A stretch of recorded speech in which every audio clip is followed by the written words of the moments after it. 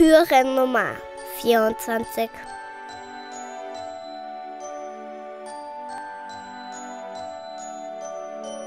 Für Menschenrechte.